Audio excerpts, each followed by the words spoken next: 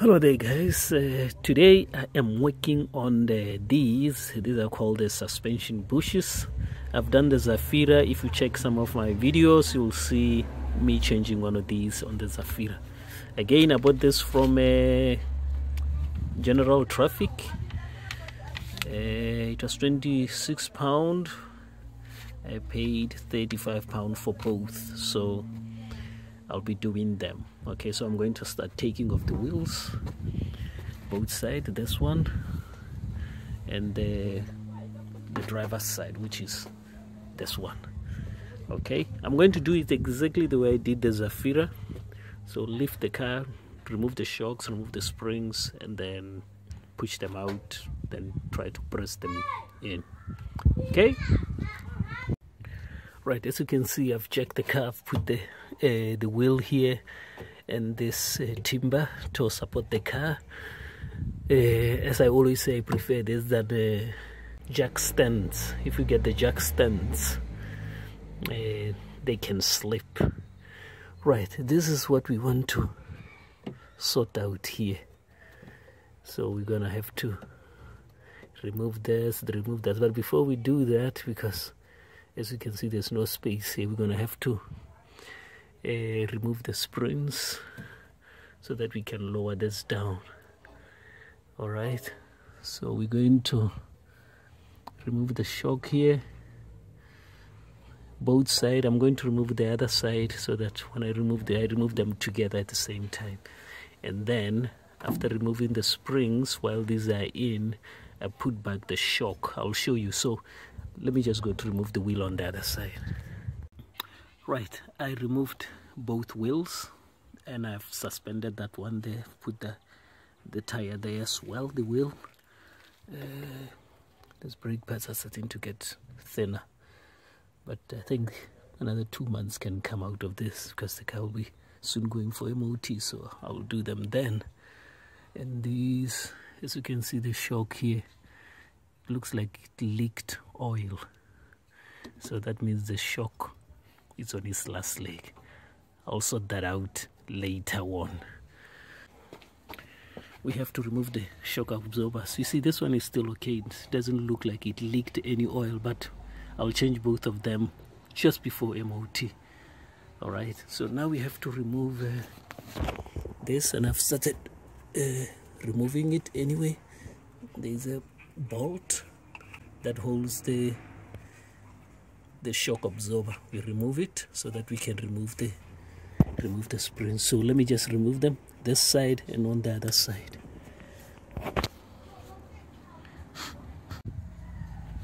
Right as you can see here I have already removed the spring on this side and on the other side here there's two springs. All right so now and I've also put back the bolts for the for the shock absorber to hold the suspension as I am removing these. I hope this is going to be easier than a Zafira. Uh, I just want to remove these jack this metal part this beam here remove the bolt that goes across then hopefully this will go down a bit so that I can start chiseling these out. Okay? So that's the plan anyway. Uh, this spanner here is 16 okay? 16 for removing these uh, these bolts here that holds the shock absorber. So 16 there are only two sockets or spanners you need here. Just this one all right and that one. Only two. And this one is number let's see. It's number 18 so 16 and 18 the suspension comes out. It is that easy. So sometimes Citroen makes things easy and this is one of the things that are easy. Only two spanners or or sockets. That that then that's it. All right so let me just remove this and on the other side as well. I've put the shock absorber on this side on on the other side so so that it holds this suspension frame here. Okay? Right. This is the bolt that holds the bush and uh, this is the nut. All right? So they they're out. So I'm going to do the other side remove the thing and then hopefully this will come down a little bit. I have a jack in there as you can see it's holding the suspension here as I am removing this. So after I remove the one on the other side I'll remove the jack and I hope this will start swinging a little bit lower. I hope I'll be able to do without removing this cover that I just don't know what it is for. Okay if I can if you can just sit on top of this cover get it removed and put another one pull it job done. So I'm going to do the other side. Right this is the other side. Well just as I thought that everything is going smooth and nice you see this here? That's the diesel tank. Now the bolt that runs through this bush coming out here as you can see over there this is the bolt here. It is touching the tank so it wouldn't come out there. As you can see there it is touching. It will not come out. Let me see if we can maybe this way. You'll be able to see. Yeah as you can see there that's the one there. It's touching the tank so it's not going it's not going to go out because the tank is on its way. So I think here I have to remove these bolts. This one this one and there is another two on the other side. They hold this bracket. Then the whole thing with the bracket uh, will come down. Then I can remove that bolt. All right so I'm gonna remove this and see if it will come off. And uh, take this. As you can see these were already touching the on the other side it was touching the housing. So it was really really ripped off. So that's the idea. Let me just take this out and see what happens. Right now on this side I removed the whole bracket as you can see here so that we can uh, we can push this down and get rid of that uh, remove that bolt on the other side there. So it's uh, as you can see it can it swings back and forth and affect this bolt uh, okay there you go. It just came out. There it is. And the bracket came off. Brilliant. So we're putting it there. And then uh, where's its nut? Well we'll find it after so this is the bracket. Goes this way. No no. Doesn't go this way. It goes this way. All right. It goes this way. Now there are two types of bolts here. We have these. These are not 12 and they're not 13 as well. They are this socket okay. Sometimes manufacturers will make a, you know uh, sockets that are a bit funny like this one. I, you put 13 you're gonna damage the the corners and you round the bolt. You try to put to use 12 it's not going to work. Now these are the shortest ones the ones that are next to the wheel the ones that are to the front to the door. They're much longer and they are socket number. Here again 5 slash 8 all right. This socket 5 slash 8 it fits perfectly. If you put 16 it is uh, going to damage corners. If you put 15 doesn't fit. Now this one has this little tongue kind of thing here I don't know what it is. On my new ones they snow. They don't have this thing okay? They're exactly the same except that they don't have this. Okay? So we will see. We'll see what what this is all about. I'll just make a mark and then uh, so that uh, I can try to get as close as possible to this uh, shape or you know the way it's facing or maybe make a mark here so that this triangle goes up this way okay? Because you have to make marks on this. If you put this triangle the other way around you see it is standing like that. You shouldn't put it sitting like that. It has to be exactly the way it is. So I think I should make a mark here so that I can get it as close as possible. Maybe it doesn't matter but I think uh, but here as well it doesn't show anything it doesn't hook on anything. But just for for safety reasons I will just make a mark and make sure that this triangle whatever shape this is it goes right like that all right I'm gonna start taking them out now. Right guys uh, I've removed this. This doesn't uh, look like the one in the Zafira. In the Zafira the surrounding is made of aluminium. So when you put a screwdriver here it bends. This is plastic. So you put a screwdriver here you remove the plastic goes back to where it was. So what you do is what I did is I got one of these and I started drilling where these rubbers are started drilling. So you weaken it when you drill these and then you hit it with a hammer. With a hammer like that you hit it start moving and then finally you push it out.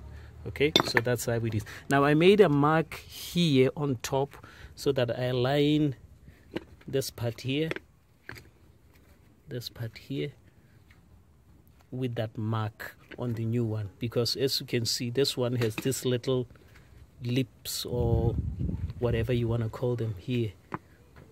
But the new one I have doesn't have them look.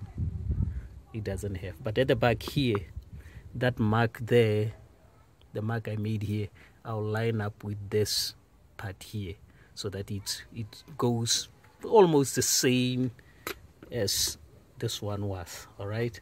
So to cut to I wasted a lot of time chiseling and hammering. It took me forever. Two seconds get a drill okay? Here these rubbers here they're the ones that are holding the whole thing. That that's very strong. Drill them these. You drill them. This thing weakens. You hit it with a hammer just two times it falls off this should take only two minutes. On the other side i'm just gonna be flying which it will be very easy because i now know from this side okay? Now i'm gonna put this. Now what i do is i use uh, one of these because i don't have a puller. With this is very simple. Brilliant. Here I take this one the one that will be almost the same size as that here I put it on this side because it's almost level here. Then put a screw a, a, a, a bolt one of these. Let me just show you. One of these goes through all the way to the other side and then on this side. Because I'll be pulling on this side it will be this one here. You can see it goes over. So it will is going to rest here. You see so when I tie it's going to pull this thing in. Now to make it easy I'm gonna apply grease and WD-42 so that it slides. But before I do that I have to clean all this here. Okay I have to clean this. Okay sand it. Makes it uh, smooth. Then I'm not going I'm just going to put it in leave it so that I do on the other side. When I finish on the other side then I'm putting it back here okay? So cleaning. It's a bit rough. All right there we are guys. I'm pushing it in now pressing it uh, I'm using this hole saws as I did with the Zafira. And as I said this one is much much easier than the Zafira because you can put them backwards like this and you just pull. Once this gets closer it will start touching this. So I'll just take it out flip it the other way around and uh, just finish pushing it in okay? So this is this side. The other side i haven't removed the the old bush. I showed you how to do it with a drill. It's going to take me just two minutes to do. Then uh, i put the new one okay? So but i'll show you i'll show you so that's that's how it is at the moment. There you have it. It's in the mark is there. So this uh, is right where the mark is. So that's good. It's so I'm gonna just put the bracket and then go to do the other side. The other side should be very easy straightforward. Okay let's go to the other side this is the other side. There it is. So I'm gonna just start you know drilling like so. There you have it. This is what we're gonna be doing. Now I want to say you see this pipe here? That's a brake fluid pipe. Make sure that this doesn't get too tight. Okay you don't want the suspension to be hanging on this because uh, if this get broken then you're gonna get in serious trouble. So I'm gonna get the jack and uh, lift this a little bit so that it doesn't get too tight. You can remove the brackets here that holds it but I think that will be just creating more work. This will take two minutes to take out. Okay let me just keep going. Right this side as well I have uh, removed the bracket because there wasn't too much space here. So uh, there's a 10 mil nut that holds this cover. You just move it down a little bit. You don't have to remove all the screws. So here is the the bush okay? So again use a drill to just drill it off all this. Then push it outside. Get a new one in. Job done. Right as you can see this side is done as well. I've pulled it all the way in. As you can see that it's it's right at home just touched. So I'm gonna take this out put the bracket put everything back in put the wheels put the springs. Oh no no no. You put the bracket then put these in the long bolts these ones. And then you remove the shocks you put the springs and then you put the shocks back on and then you put the wheels back in. Job is done. Okay so I'm gonna take off this put the bracket back on and uh, start doing just that okay? Right it's done now. As you can see that's done. The spring is in the shock is in so I'm just gonna put the wheels on this side. It's done. Let's see to the other side. The side as well is done bush in everything. As you can see I said this shock is leaking oil. It says the stains of oil here so that means I have to change the shocks now I'm not just to change one I'll change four of them front and back but not now okay?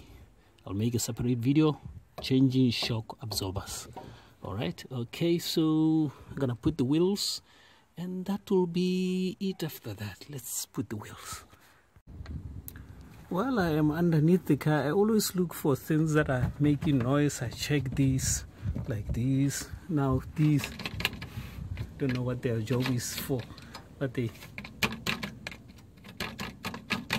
look at that. So I'm gonna put the cable tie so that they don't clank. Uh, I don't like sounds. Okay, so I'm gonna put the cable tie. I have them here. This thing they're cheap. Just put here. No more clanking. Okay, I'm gonna do on the other side as well. Everything is done. Now, I don't have a wheel cap here because one time I had a puncture and I took the car to the guys who change tires. They put this tire in, they put the wheel cap, but they didn't put it properly, so it fell off. That's how it is. So I'm gonna just spray the wheel black uh, don't need to spend money on wheel caps actually with the taxi MOT anyway if they are scratched or broken you fail MOT so you must as well leave it like this. Just paint it black. I'll make a video about it when I'm doing it. So everything is done. It's finished. The wheel the side is in. Just gonna clean all this mess. And here as well. Done. Finish. Looks good so like I said I'm gonna remove them these wheel caps. Uh, I have alloy wheels on the other car but I don't think you know taxi worth alloy wheels. You hit the curb all the time so. But uh, that's how it is. Job done. Okay guys. Thank you very much. Bye